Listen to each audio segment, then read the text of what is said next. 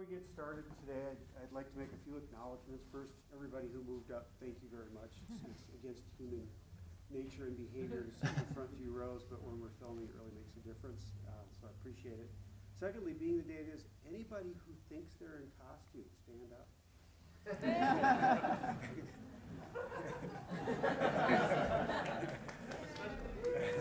so, is Dr. Mirkashi and Sonia? Uh, I'm glad you think you're in costume. so, uh, we're fortunate today to have our presenter, Dr. Rick Henriksen, joining us. Uh, Rick is a clinical instructor in the Department of Family Medicine and uh, the director of the primary care track in the medical student programs. And so, without further ado, Rick, take it away. Thanks, Osman. Let me just test the sound. Are you guys hear me all right? Okay, and we good to bend the back? Okay, so um, welcome. It is Halloween. I was going to come dressed up, but I thought better of it. Um, and I guess I am a little dressed up. I usually wear a sweater, so I guess that's a little bit. Um, also, thank you for, for moving up to the front. That'll leave some space for people in the back, the stragglers. Um, and I am uh, very excited to be uh, speaking today to you guys. Are we, we're going to get the lights down.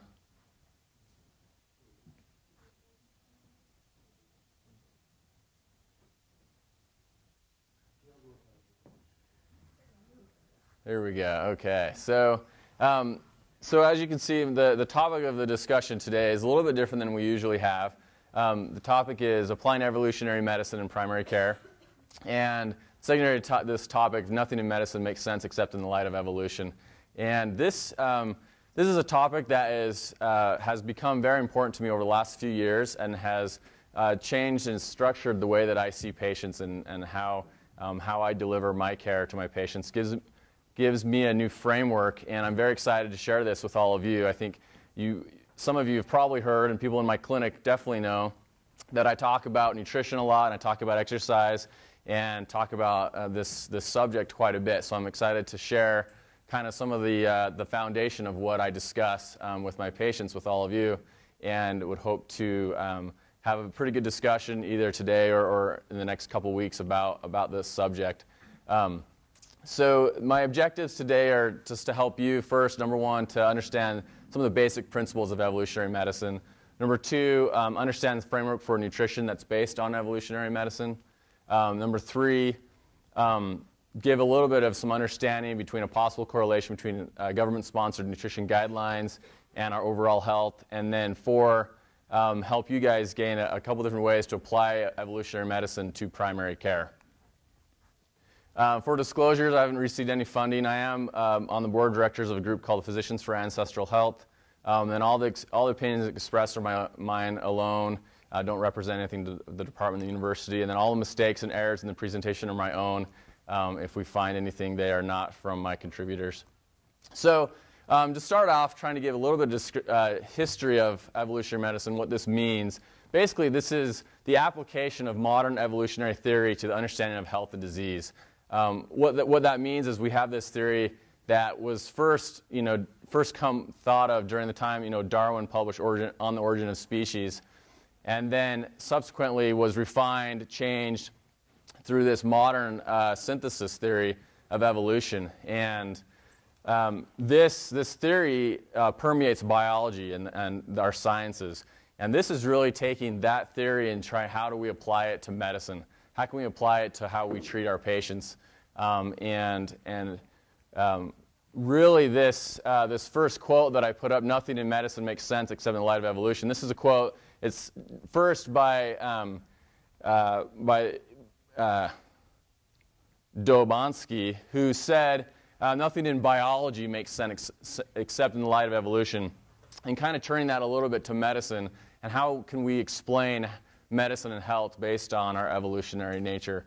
So, um, so first off, um, also um, Mormon, Mormon evolutionists. So I am LDS. I'm part of this culture. I think there are a lot of people that are very strongly Christian in our area. Whenever we talk about evolution, this topic seems to always come up. Um, the belief of evolution in our in our country it, is somewhat a polarizing topic.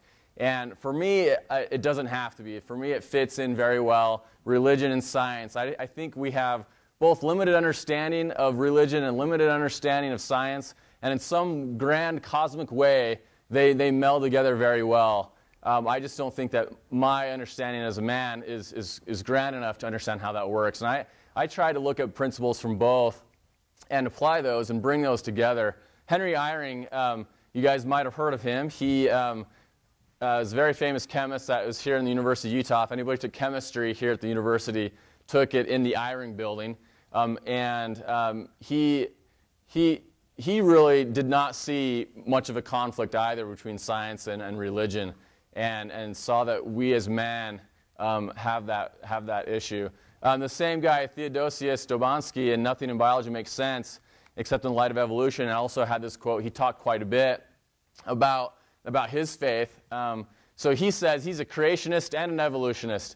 Evolution is God's or nature's method of creation. Creation is not an event that happened 4000 BC, but this process began 10 billion years ago. For him, that, that's how it worked in his mind, of how he brought um, this creation and evolution together. I think for the purpose of our discussion today, um, we will talk about some of the modern theories of evolution, knowing that you know this is a theory, but I think one that we can use to the benefit of our patients and one that we can use for our understanding and, and can be very helpful. So. Um, for those that are in the room that, are, that, that not, might necessarily believe in, in the theory of evolution, I think there's still some ways that you can, you can gain some help and understanding of, of, of health and disease um, through this theory. So uh, I want to give a little bit more background on, on how, what this theory is and how, and how it really works. I'm going to start from the beginning. I'm sure it's been a while since we've talked about natural selection, probably ninth grade biology class for a lot of you. Um, but the, uh, there's four main principles of natural selection. And these principles, the end result is adaptations, things that change, things that we have adapted for part characteristics in our species or in an animal, for example, that, that have provided some benefit. So, number one, we, we look at that there are, within populations, there are phenotypic variations. For example, in, in a bird population, there's, there's yellow feathers and black feathers. So, those are two variations phenotypically. The next is that heritable genes are passed on to offspring. We see that the yellow feathered birds then have yellow feathered birds' children, um, there's competition between organisms. So we'll see that the yellow feathered birds and the, the black feathered birds um, will be competing in that environment. So um, there are limited resources that they're both competing for. And then number four, that there's non random success that's based on that phenotype. So the fourth one is the key, where there is success for the yellow or the black feathered birds depending on that key phenotypic trait that's going to allow the, those birds to propagate um, and produce offspring. So that adaptation, for example, if the yellow-feathered birds fared better, that adaptation is very key in this natural selection process. So when we talk about mismatch, mismatch is that that certain adaptation that was well adapted at, at one point is now mismatched to the current environment. For example, if that yellow feathered bird was using those yellow feathers to protect itself against, uh, to protect itself as a defense mechanism, and then the entire forest burned down, and it was a bright colored bird in a burned forest, that would now be a mismatched trait. It's no longer protected for that bird, whereas the black feathered bird would actually have a protective um, adaptation in that environment. So, where yellow feathers used to be good, now they're bad. We'll call that mismatch to our environment. So, for an example for humans, um, we can think of our taste of sweet.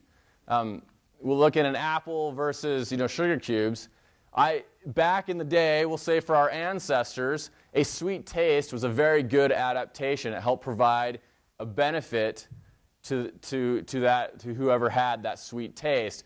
That sweet taste signified lots of calories, easy calories that you can take in, and a, a good source of nutrition that was very helpful and protective for that, for that individual to then carry on. If he had a sweet taste, he was able to, to enjoy eating honey better, let's say, or an apple, which then he was able to find these high calorie sources much better. Now, in our modern life, this is a mismatch. Sweet taste actually uh, still signifies high calories, but for us, it makes us feel good. We like this taste. But now in our modern life, we don't need that adaptation, is actually a negative result. We don't, that good trait that used to be uh, protective is now harmful for us because now it drives us to continually eating these sweet foods. We enjoy sweet foods that have more calories, more, more nutri- you know, higher density of calories that are really not beneficial for us. So another example, uh, we'll talk about running. So we all wear shoes now, and so some people have thought, well, these shoes are a mismatch. They're, that we should start running without shoes, right? So yes, yeah, so uh, evolutionarily, we didn't have shoes. We walked around barefoot. And we, if we think, okay, so we can talk about let's remove our shoes and then things will be, will be improved. Unfortunately, um, yes, we get inj- injuries with shoes, but we also get injuries without shoes. So when we're thinking of a clinician in this area, um, you can't just jump to say, oh, just take your shoes off, go back to the, the primitive way of life, because there are other mismatches that we have now. We have glass, we have pavement, we're not running on dirt trails, our feet aren't adapted, our musculature is no, no longer adapted through our lifespan to running without shoes. So we have to be careful in, in how we discuss this that, yes, it's probably a, mismatch that we run around in shoes, but jumping right back to that original environment might not be the best for our patients without further training. So we have to kind of look at both of those and see how that mismatch is going in our modern world. Um, another uh, mismatch. So um, humans and primates, we developed to evacuate our bowels squatting. We now sit, especially in the, Western world, we, we sit on our toilet instead of squatting. Um, I would like to think that this perhaps could provide some mismatch in the way that, um, way that we carry out this process. The angle um, of our anal canal, our sphincters, this changes, our geometry changes. Um, does this squatting relax our muscles that we lose when we start sitting down? What could potentially this cause? Well, uh, there are diseases of the colon. Maybe diverticulitis is caused by this process. Perhaps this is a, this is a theory that, um, or, or, hemorrhoids, other things that if we went back to squatting, using squatting toilets, perhaps we would, uh, we would be able to, to remove some of these diseases from our, our modern life. So is this a mismatch? Is this something that is, is going on that if we would revert back to a more natural way of doing things, would we remove some of this disease? And that's, and that's another theory that we have um, for, for the squatting versus sitting. So um, I like to think of four key modern mismatches in, in our, from our modern life. The first one is nutrition, which I'll focus on today. Sleep is absolutely one that we now in our modern lives, with artificial light, with our busy sleep schedules, with waking up early or being on call, certainly mismatches for residents in sleep. There's no question that, that we're out of our natural, uh, our, our natural environment, our natural way of sleeping. Lack of movement, we certainly see this. Our ancestors moved, stood up, squatted, this type of movement all day long, whereas now um, we're either sitting um, or we're laying down or sitting, really basically almost all day long. Um, our posture has changed. We don't move as much. We don't exercise as much. This is certainly a mismatch that has come from modern life. Um, the next one I think is a culmination of a few, and that is stress. We certainly have different stressors now in modern life compared to when our ancestors were here. Our stressors now are chronic, maybe low, low level stress, not the acute stress that maybe our ancestors had had to deal with, with um, acute situations that, that prove dangerous getting attacked by an animal, for example, is a stressful event um, that is a very acute, it goes away. Our stresses now seem to be chronic. You know, getting the bills paid, financial stresses, arguments, you know, in, in, in the workplace or whatnot, that provide this different type of stress than we're accustomed to, this, uh, this mismatch of our modern environment. Other ones that are potentials up here, sunlight. Um, we're, we're used to being in environments where there's much more sunlight um, than we are now. That modern mismatch likely causes our vitamin D levels to be much lower. Um, our skin is not accustomed to the sunlight, so then when we are in the sunlight, we, we get burned. We, we have problems in that environment. So, this, so the, these four key modern mismatches I think we can look at as a foundation of when we're talking to our patients. uh, when someone comes in with a complaint, we can say, you know, does this, does that complaint fit into one of these modern mismatches, or what is the mismatch potentially that we could, we could improve with our patients, and that could in turn provide a, a higher level of health. So I want to talk about nutrition specifically. So I, I think that modern disease, diets create mismatch. We, um, we developed an environment where we had natural, whole um, foods that had high nutrition, um, where with very little processing, to now our modern diets are full of processed foods that um, are lower in, in, nutritional value than, than we might be used to. So, um, and I'll go into this more in depth. I think the hypothesis that I have is this mismatch in nutrition leads to inflammation and metabolic syndrome.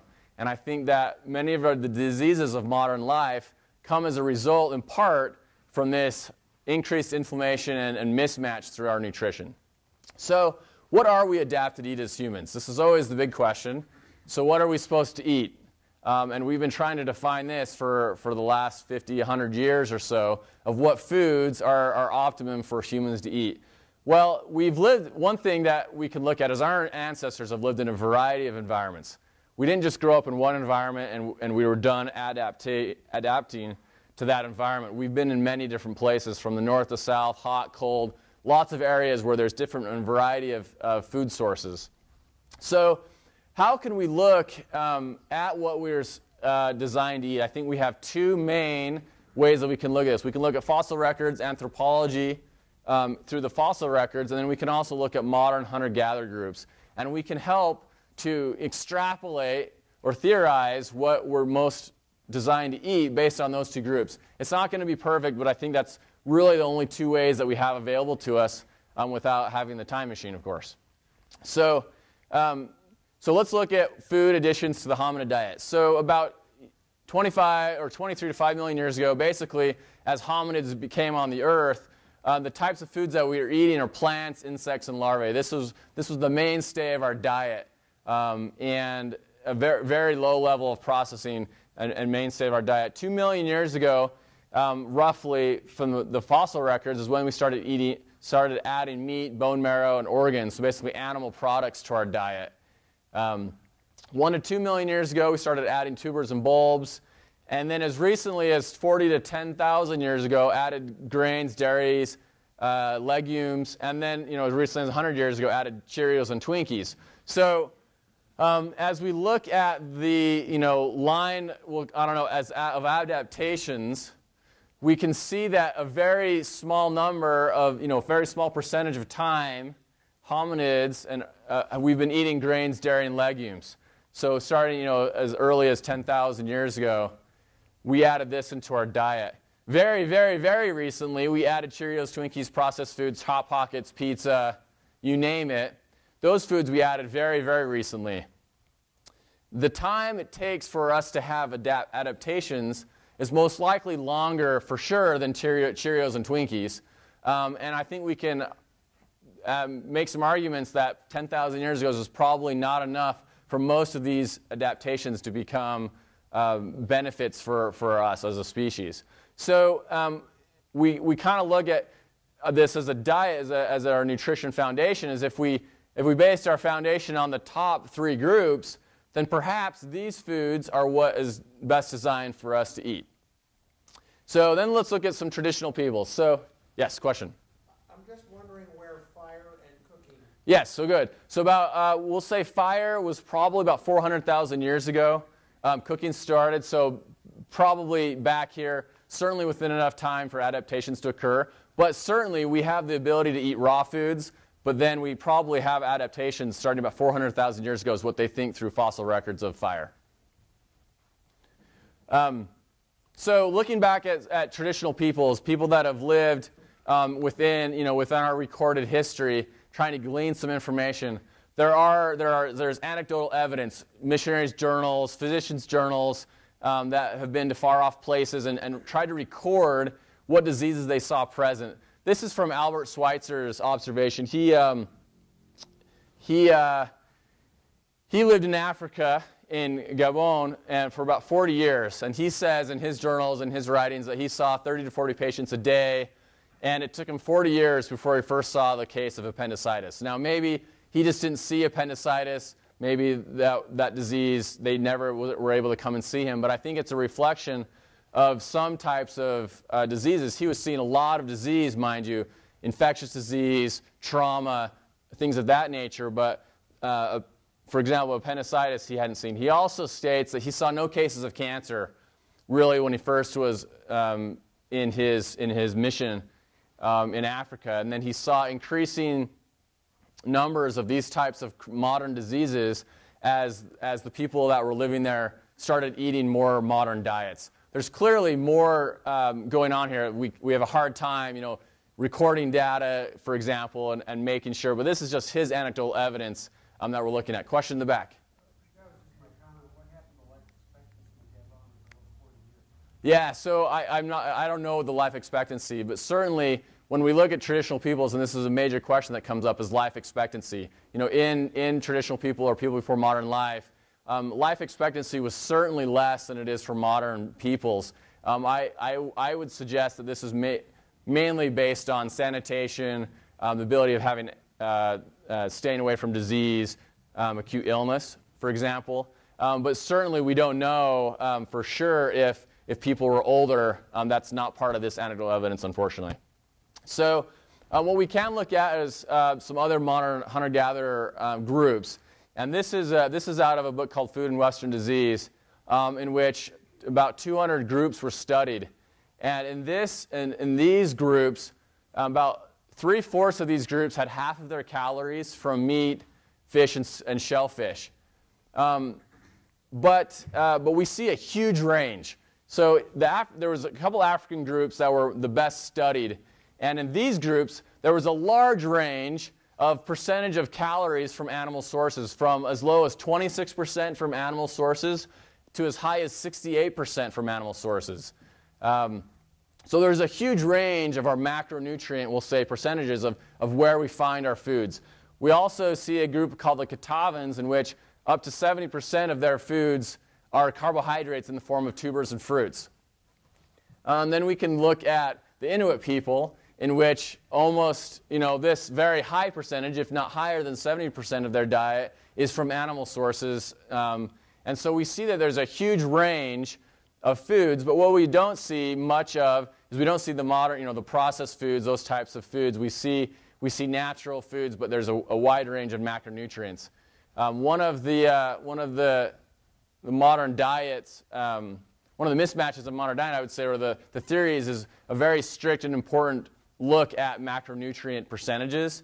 And I would say that we've had healthy people um, or groups of people, I don't, uh, sorry, not, not necessarily healthy, but groups of people that have lived, that have adapted to eating a, a, a, wide variety of different food sources. Okay, so I think what we can say is we are adapted to eat um, a large variety of, of, different types of foods. Okay, so then we look at grains, sugar, some of these processed foods. I would suggest that these are luxury items. These are items that um, are more recent in our history that were reserved um, in traditional times for, for the nobility, for the rich of the groups. And uh, the reason being is I, I think we can look at grains and sugars as this, large amount of calories in a compact volume. These are very highly prized. You could keep and store and take with you um, a large number of calories um, that taste really good and, store fairly well and were reserved as luxury items. We look at the steps, for example, to like make bread. Um, back in traditional times, we, there were many steps. So from and I'll just go through these. These are by Joel Salatin.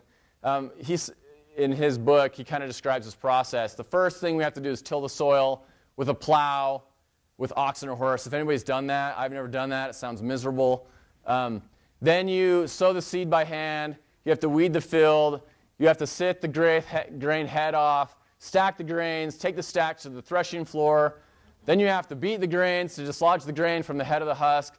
Then um, you, have to you have to throw that grain up in the air, and this is what winnowing is. I had no idea until I was looking into this. Winnowing is the breeze that blows that shaft off of the grain head.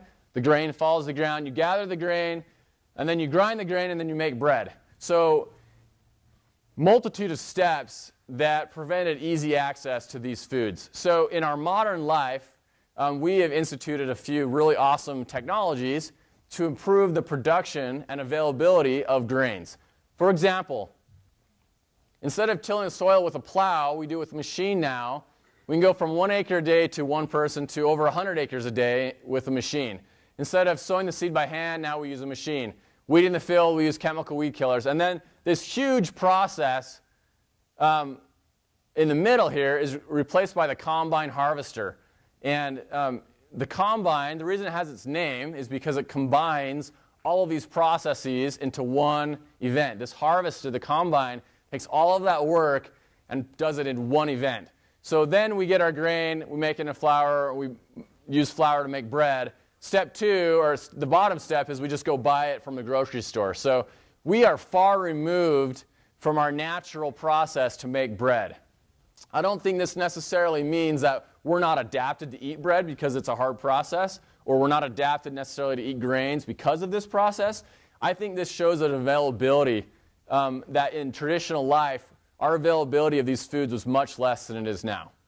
So there are, there are a couple ways that we can look at foods and determine if they're healthy for us to eat. And I, I pulled this from Whole Nine Life, and each of these would, would take at least an hour or two to really get into the specifics of why and, and the science behind these. But I really think that we can look at these four areas. So grains promote an unhealthy psychological response. We have this craving oftentimes for breads that, that, it, that the taste, that function, and that, that brain response really drives us to continue eating these types of foods. An unhealthy hormonal response. When we eat a, a, a, a load of grains, it does things to our insulin levels, our cortisol levels that I think is unnatural in the way that we would generally be able to eat foods because we have such a high concentrated level of the carbohydrates. Um, they promote an unhealthy gut response. This is where we talk about gluten free diets, people that are celiac or gluten. This process um, has, is causing inflammation, and, and, um, this, and then the fourth one is increasing overall inflammation. So these four things certainly don't have time enough to talk about today but I think are the key reasons why, why this theory suggests that grains are not ideal for humans.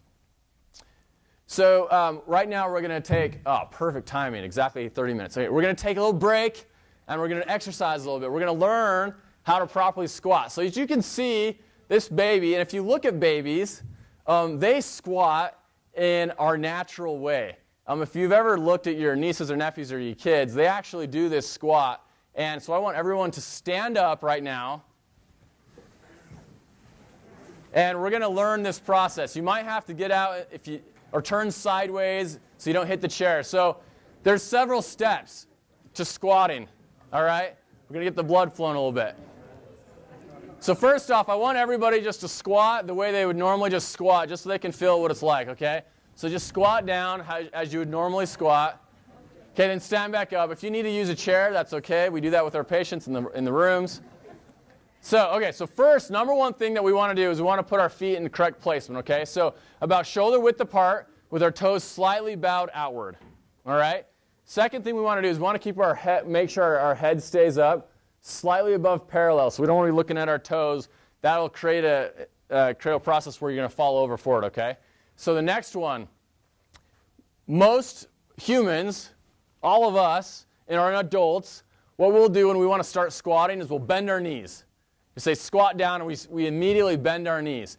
This puts, a, puts us in a, a disadvantage in the, in the geometry of our knees that places them in front of our toes. That puts a lot of strain and stress in our squat. So I would like you to rethink, remove that. When you're squatting down, you're going to start with your butt, okay? I want you to go and you send your butt back and then down, okay? So the, that is a key process of squatting is I want you to really push your butt back and then squat down, okay? Rather than initiating with your knees, pull down with your butt first. All right. So make sure your knees track over the line of your foot. We don't want your knees to go out or in, okay? So you don't want your knees bending in when you're squatting. We want to keep a lot of pressure on our back, all right? And then we want to keep our lumbar curve so it doesn't, so it doesn't, uh, doesn't settle we don't want to be bending forward. We don't want to have a bad curve in our back.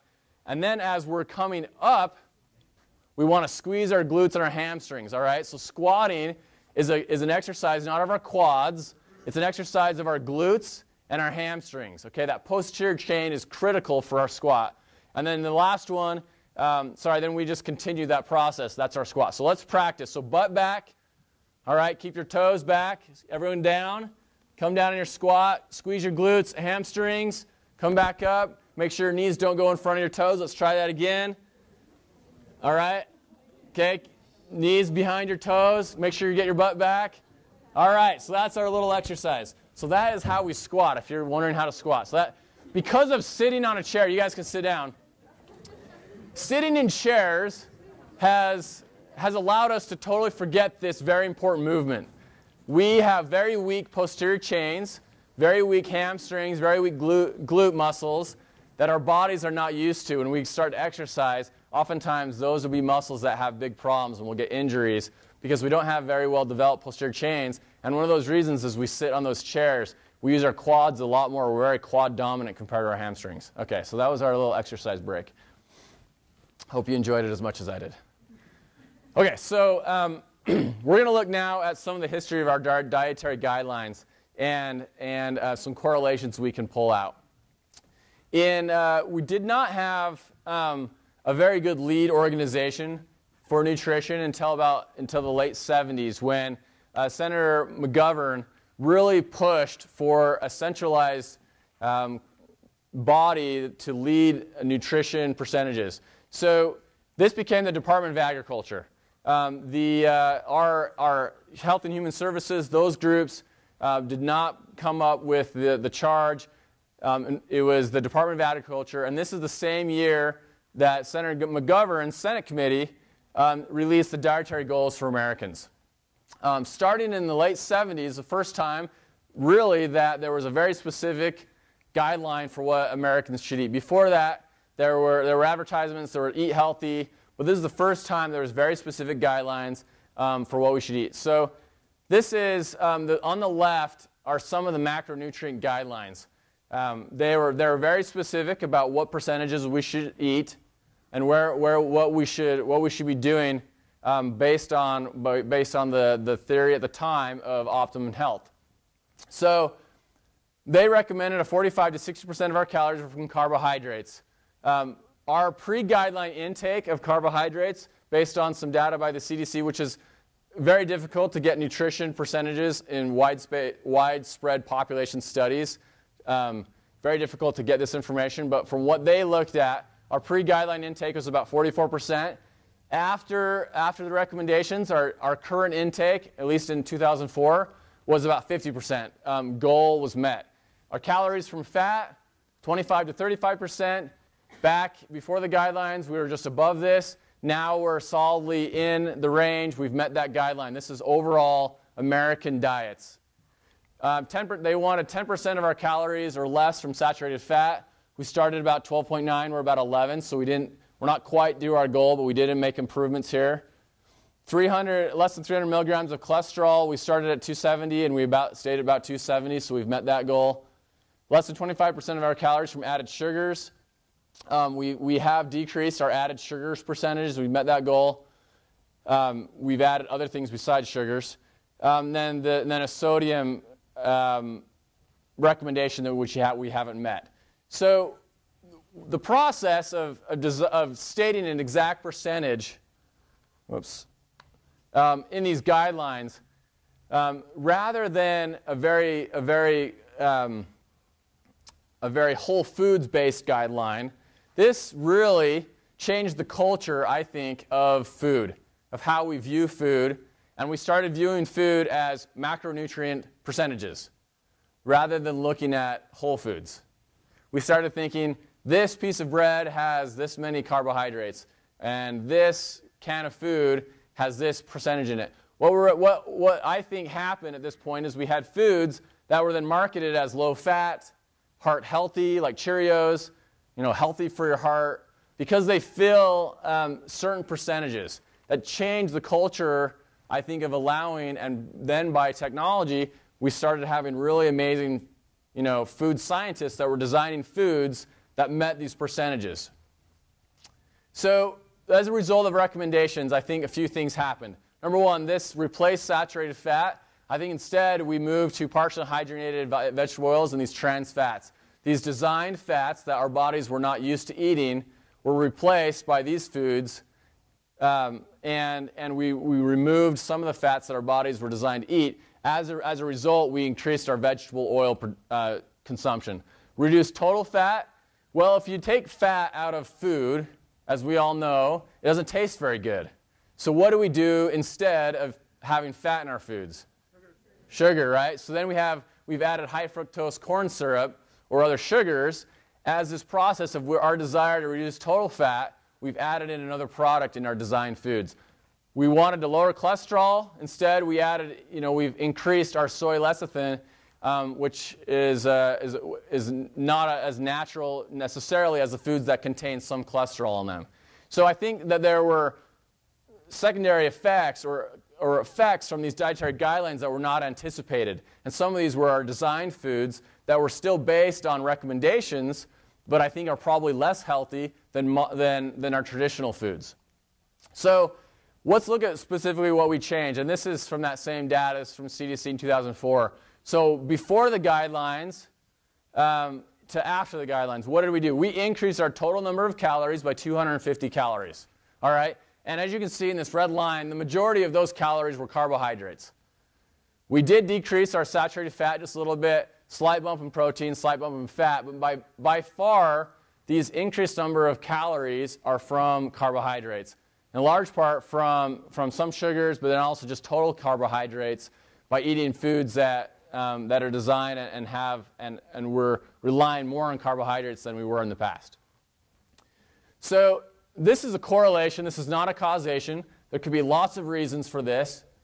Um, but I think, but I think it's, I think it's an intriguing look of the effect of, of these government-sponsored guidelines had, potentially had, we don't know, it's a correlation, but if we look at the first dietary guidelines, 1977, we see a certain level of population with overweight or obese BMIs. And traditionally, we only have data into 1960s. We don't have anything before that. That was, um, we just didn't keep track in America.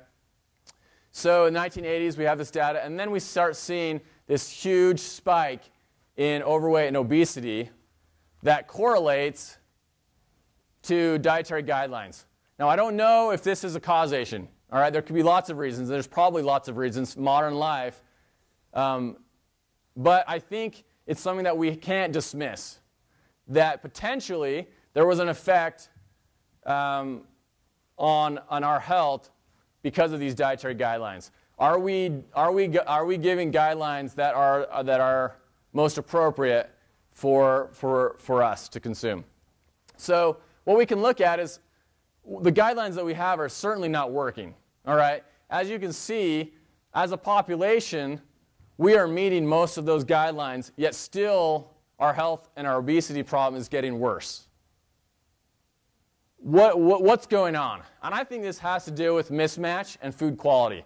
I think that there's a, we have a mismatch with these modern foods that are easy to find, easy to consume, taste really good, have been designed so that we eat more, and, and that this mismatch has caused this problem. That, that's my theory. Um, I think that food quality matters. I think eating more natural foods, vegetables, fruits, meats, nuts, seeds uh, would provide a more health benefit rather than eating designed foods that are more processed. So, the, um, this, uh, this specific diet, um, which I would say is not really new diet, there's a lot of different names for it. This was a, this was a paper that was published in 1975 called the Stone Age Diet.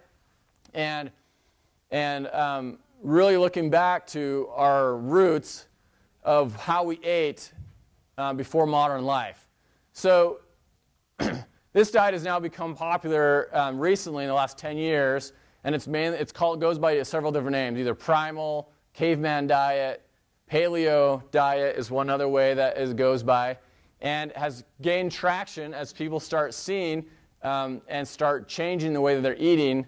Has become more popular in both um, lay press and and um, and in our patients. So when I talk about my diet, I eat this way. I, um, I talk about um, a lot of the positive ways, and things that I do eat. And I, and I try to te- uh, teach it in a very positive manner. This is also something that I pulled from Whole Nine Life. So I eat real food that is fresh and natural, foods like meat, vegetables, and fruit. Foods that are nutrient dense with lots of naturally occurring vitamins and minerals, rather than foods that have more calories but less nutrition. I'm not locking in carbohydrates. I just get them from vegetables and fruits rather than bread, cereals, or pasta. So, um, a very positive way, this is kind of the, back, the backbone of, of how I've chosen to eat. And a lot of my patients that come to me um, are similarly choosing this, this system. Another way that we can look at this system um, is looking at processed foods and food quality. So, I think that there's no way that we're going to remove all modern foods from my diet. I think that would be inappropriate to try to try to have somebody be 100% only on you know natural foods. But I think we can kind of look at it in a couple different ways. This green column are foods that we have a green light to eat. We can eat as many as we want. These are foods that familiar ingredients. Packaging, there's none. There's no label. Doesn't make any health claims. Like this is broccoli or apples. All right? So when you process these foods, you have to cut the apple or you chew the apple. Okay? So you cut, clean, shell, you peel. You find these at farmers market. These middle foods are more traditionally processed foods, foods that we can process at home, for example. There's very few uh, ingredients, but there's a few. Minimal packaging, simple labeling, don't make health claims. So things that we can do at home is how we process. So for example, we could make butter, we could make sauerkraut, we bottle or can our food. These are foods that we can eat, but probably need to limit the amount of that we eat. Probably not safe to say we can eat as much as we want, but these processed foods like roasted almonds or almond butter, for example. Then this last group, I would say, are industrial processed foods, the foods that we should probably limit as much as we can from our diets for optimum health. These are foods that have very sophisticated packaging. You know, these foods like Cheerios that make these health claims um, that are in colorful packaging, highly processed, highly digestible, highly um, uh, able to, to get those calories in your body very quickly because of these processing methods.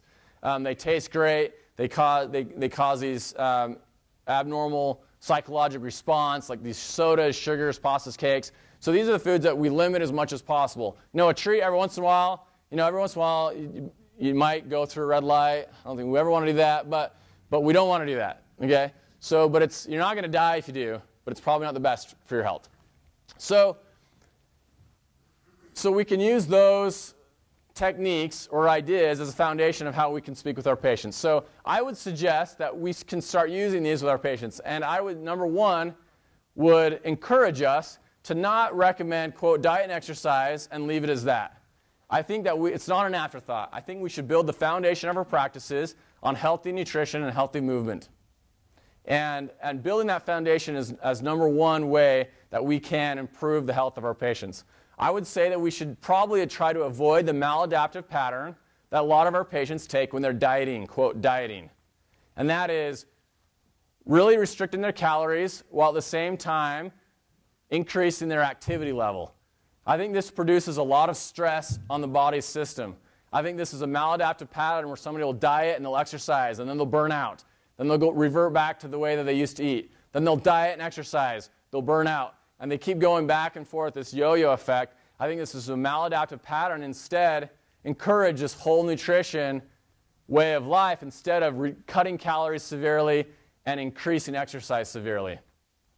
And staying positive with our patients. I think this is another way we can do it. Anyway, okay, so I want to tell you about a patient that I had as a resident that I wish I could have helped more. So she came in, her BMI was about 40. She, um, she's very active in her job. She worked in the vivarium, which is where they keep the animals for research studies. She was extremely active in her job. She was always moving all day long, burning lots of calories. She'd been trying to lose weight for years, and I was her doctor for a couple years, and I tried everything. We tried increasing her diet. I'm sorry, we tried increasing her activity level. We, I tried to get her to run. Um, she was at work, and I said, you know, take the bus and then walk to work.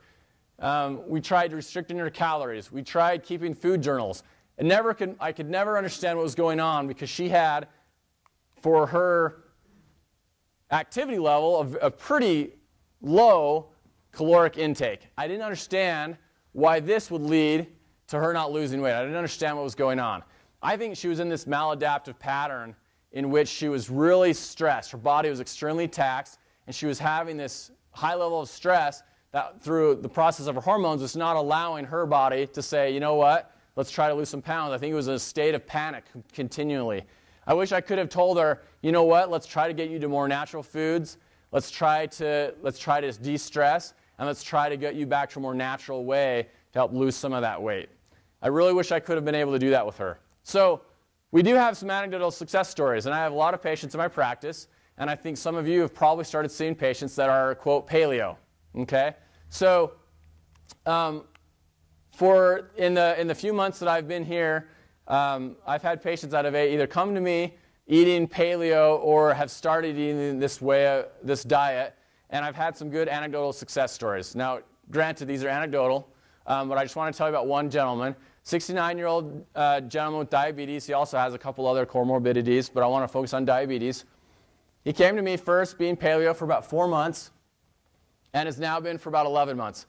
He was on three uh, oral diabetic medications. He was on pioglitazone, glyburide, and metformin um, when he came to me. He had pretty well controlled diabetes on three, these three medications. Um, he had been eating um, a paleo diet for about four months, like I said.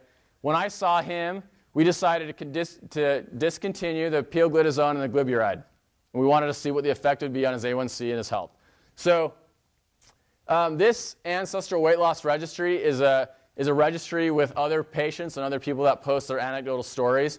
Um, and they're trying to gather these similar types of anecdotal stories if you're interested in other, in other possibilities of, of some stories. Okay, so this gentleman, like I said, he started well, very well controlled with his diabetes in May. Um, when I first stopped um, his, his two uh, medications, in July we rechecked his A1C, and it was 6.2, all, also very well controlled. In October, just recently, still eating this same way, still not um, on his two medications. Once again, A1C well controlled. So for me, this is the, this is the really good success that we're able to find with this patient is a, a large drop in his weight after stopping his two insulinogenic medications. Okay? So for, for four months, he didn't lose much weight on those two medications. As we know, those two medications increase the production of insulin. As we know, insulin um, is a, is a um, hormone that um, acts to increase um, the production of fat in our bodies. It also, by bringing in glucose into our cells, that process um, of, of uh, that we see. After stopping those two medications, continuing on the diet, he was able to see about a 30, or sorry, about a 20 pound weight loss in the next few months um, in sustained diet. Now, I'm not sure what's going to happen. Maybe it's wintertime.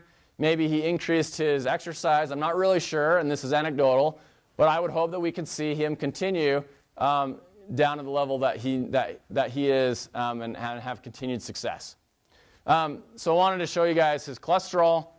He's never been on a statin. Um, this gentleman that just has not had problems with statin, even with his diabetes.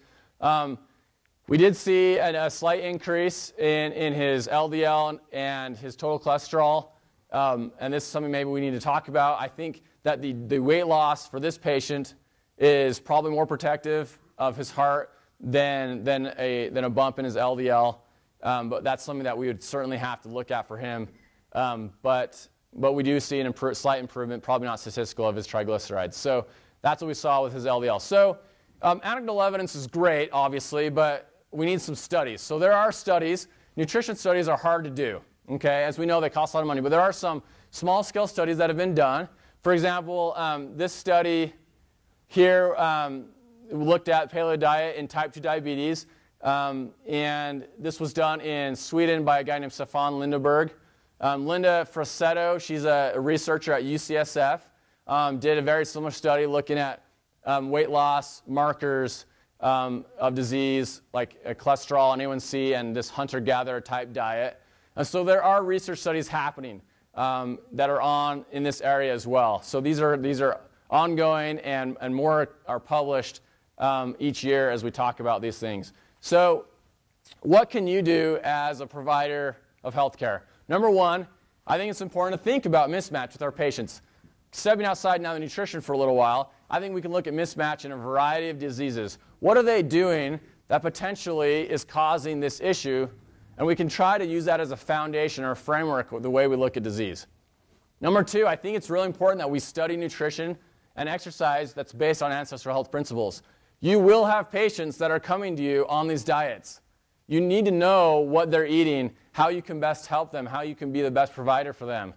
Um, I was attending the residence a month ago, and a patient came in, saw one of the residents on this weird paleo diet, and the resident um, did not had never heard about it. I was able to teach this resident a little bit about what was going on and how best to help that patient. Even if you don't think there's much credence in this diet, I think it's really important that you understand so you can best help your patients when they're when they are eating this way of um, and and following a, a nutrition lifestyle like an ancestral health or paleo diet. And number three, I think you can give this a shot. I think you can try to eliminate processed foods from your diet, and we see the effect, we see what happens, and you can give it a shot to see what it's like for you. Um, other things that we can do, um, the application of mismatch, I just talked about this. Um, look at how these four areas of mismatch apply to your patients. See if we can improve those. Use these as, as a foundation of preventive medicine. So, fr- um, the, frankly, there are limitations to this thought. This is a theory. There, we don't know for sure if this is what we should be doing, but I think it can provide a framework. I think there's a, a new possibility, things that we can learn by looking at this as a framework. I'm not saying this is right, I'm not saying this is, has the whole answer, but I think that there's a way that we can look at this to see, huh, maybe there is something with that, and we can continue thinking and learning about that process. Just a second. I'm almost done, um, and then I'll get to your questions. So, if you're looking for more information, um, if, uh, physicians in ancestral health, if you're interested, I think on your handout, there's a, there's, a, there's a handout on that. If you're interested in joining, let me know. Um, the Evolution in Medicine Review um, is, is online. You can review that. They publish regularly. There's several different textbooks, Food and Western Disease. This is by Stefan Lindeberg. There's a book called Principles of Evolutionary Medicine that was published in 2009. Um, for the lay public, this is a really good book to start with. It's called It Starts with Food. It just came out this year. Um, evolutionary medicine is becoming more widespread and more popular in academic circles as well. UCLA recently just started their evolutionary medicine uh, project and their program. They have um, undergraduate, graduate courses that are going on. Um, this is the Evolutionary Medicine Review. Um, there are health and, and societies that are popping up in, for this area if you're interested in more information. And I just want to, uh, you guys know a few of my key contributors. Emily Deans is a psychiatrist. Uh, she works in Boston um, and has been instrumental in helping me learn about how mental health is related to mismatch and evolution. Victoria Prince is a, an MD PhD student. She finished her PhD in uh, liver metabolism and is now doing her clinical rotations. Adele Hite is a registered dietitian that is doing her PhD at um, University of Northern Car- uh, Carolina, North Carolina, and she has um, helped me with a lot of the dietary recommendation um, information and history. Dan Lieberman is a professor at Harvard in the Department of Human Evolutionary Biology. Um, he's basically the barefoot running guy. Um, and then Dallas and Melissa Hartwig, our local group here with Whole Nine Life that do a lot of interesting and really good things with nutrition. Um, so here are my references and then questions. Well, I just had a comment about considering evolutionary medicine when we're taking care of folks whose ancestors come from different parts of the world. A big topic that I deal with a lot, I take care of a lot of Hispanic patients who have lactose intolerance, and they come to this country where we promote dairy Right. from the USDA, and actually, a lot of folks from different parts of the world, evolutionarily, being able to digest dairy, especially lactose, is actually a mutation that most of the world does not have. And there are large swaths of the planet where people cannot digest milk. Absolutely. I mean, this is so if I would have had another section of time, I would have talked all about dairy.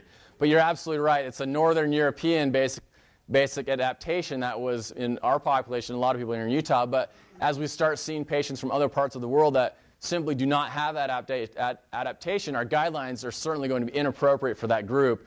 And we need to be aware and, and, we, and see that absolutely that is the case. Absolutely. Question up here. Any calculations in difference of cost between a paleo diet and a standard diet, I deal with the population. When I recommend fruits and vegetables, they say, I can't afford that. Yeah, so that's certainly that's certainly something I think we do have to look at costs, look at practical look at practical ways that we can reduce cost. I think um, when we when we look at costs, there's a very global, large scale of why are the cheap foods cheap, government regulations, subsidies, corn subsidies. We look at all those things, but at the same time, our patients are real and they're living, and how do we help them now? I think one way is as we cut out the junk foods from people's diets, the chips, the sodas, we do find extra dollars to spend on the healthier foods. But when somebody is, is, is eating you know, at the bottom, really it's going to be hard. And I absolutely recognize that it's going to be hard for a lot of people, but we can certainly try to improve their diets as much as possible within their financial means. And I think that we find in, in some patients and people I talk to that as you do cut out a lot of the treats, snacks, cookies, you do find extra money for those fruits and vegetables. But it's really hard, and that is one of, one of the things that is, is, is hard to motivate patients with. Absolutely. What's that? Rice and beans is Rice, and that's what rice, beans, and chicken. I mean, the entire world eats rice, beans, and chicken because it's cheap and it's produced very easily. And unfortunately, I don't think that's probably the, the healthiest diet for us. And how do we how do we remove like what's available versus the theoretic theoretical and like bring those together? It's really difficult. And and that and I don't have all the answers for that. Absolutely, yeah. Osman. I mean, I think there are two points there. Keith asked about the advent of fire. And you and I discussed it briefly last week, but the advent of fire and cooked food, we saw the most rapid growth in human brain development. Uh, when we look back anthropologically. So cooked food is not bad for you. My question is, um, how does this differ from any other, uh, diet that might follow Michael Pollan's recommendation to eat food not too much and mostly plants? It doesn't. And, and so the, the, the problem isn't getting people, um, to eat this stuff, uh, because of what it's in it. The problem is people don't wanna change what they're eating. So when you have people come to you and they want to do paleo diet, it's because they come to you and they want to do paleo diet. There's the other ninety-seven percent of people that want to eat fat and sugar because we're wired to like it. The other thing that happened in nineteen eighty-three when obesity took off, the screen time began to increase exponentially. So my question is, you know, it's really fun to work with the people who want to change. What do you do with people as they come to your practice and have no interest? So it's a very good question. I do see patients when I make this as a foundation of treating their disease that want to make changes, and people do. Some don't. When they don't want to make changes, I'm still a traditional Western physician, and I treat them and I try to help them as much as I can. It's the same way that I treat any other patient, but certainly I think we have an impact on patients' motivation. We can, over time, help encourage them to make changes with their diets. And I say we have been, um, through many years, discouraged by our patients' outcomes with diet and exercise. I think for a lot of years, we've tried to get our patients, and so at, at points, we become discouraged as providers. And we do go to that quick medication first rather than relying on nutrition because we just haven't seen results in a lot of patients. And I would say we have seen some, but we do get discouraged. And I would say we just have to keep an optimis- optimistic outlook. And, and we really do have to be that, that drive that, yes, nutrition matters. And even if you're not willing to make that change today, maybe you're willing to make that change tomorrow or in a year when I keep bringing it up. And I do have patients that come to me that are not on paleo, that are now on paleo and are, and are very happy and have lost a lot of weight. It does happen, but I think we just have to be optimistic about it. And just in regards to your cooking, absolutely, you know, in the period after we started cooking, after we started eating animal products and, and, and increased our fat uh, intake, we absolutely had um, that evolution to have greater brain size. Very true. Let's just take two more questions because I'm running out of time. I just wanted to point out on your slide with the 1977 dietary guidelines, and I'm not going to argue that those are good guidelines by any means, but the other thing you have to look at, Oz mentioned screen time. There's percentages, carbs and fats, but there's also total number of calories, because the other thing that you see in direct line with that obesity growth is the number of calories, the total intake being greatly increased. So uh, th- there's the proportions, which, as you said, we're meeting the guidelines for proportions. What we're not doing, though, is meeting the guidelines for the number of calories that a man or woman or child of a certain age should have. We're eating way more. Absolutely. I think you have to include the calorie part in there as well, because the percentages, sure, we're all getting thirty percent of carbs. That doesn't tell me if the person's eating two thousand calories a day more than they ought to. Absolutely. You're absolutely correct. And I think, you know, when we look at what happened to our calories after the guidelines, is our calories increased greatly through the carbohydrate consumption, and that's absolutely going to have an impact on this on, on what's going on. I think what happened is that we now have these foods where it's easy to eat more calories. These designed foods, which um, we can call you know, foods without breaks. When we look at EL fudge cookies or Oreos, we don't count them in number of cookies, right? We count them in rows of cookies because like that's how we eat them. When we eat cookies or breads, we can just continue to eat. We just don't have good breaks to stop ourselves eating those calories. When you eat an apple, how many apples can you eat? Maybe one, two. You kind of have to stop at some point, right? But when you're eating processed foods, these designed foods, you eat more calories than, than you really had desire to. You don't want to eat, keep eating red vines, but you just keep eating them because there's no, there's no appetite suppression going on in your body. It's, these foods are not designed in a way that says you're full. Where apples or a ribeye steak or whatever it is say, I am full, stop eating me. How many sweet potatoes can you eat? You got to stop at some point. And I think that's a large part of how we start getting these more of these calories. We're eating these foods that our body's just not, we just not know how to say stop. Okay, one more question. So you made a reference with the whole barefoot uh, running Yeah. where, you know, our ancestors ran barefoot. Maybe it's not such a great idea for us to go out and do that immediately. There's also adaptations that our bodies have made, like the diverticular that you were talking about. So what caveats do we have to tell our patients if they're going to go to a whole nine type diet? Means nuts and seeds with diverticuli seems like it could be dangerous over other, you know. Yeah, absolutely. I mean, we have to see our patients as they are now, and we have to look at their overall well being, and, and we have to think about do we have to remove certain foods or do we have to change what's happening? And, and you really do have to take an individual look outlook. When a patient comes in, I have to see them as an individual and treat them as an individual in their diet and their response and their exercise because what's going to be appropriate for one person is not for another because of what's gone on the, the previous 40, 30 or 40 years. Absolutely great point. You have to individualize what happens as well. Okay, thank you so much. If you want to chat, I'll still be here for a while.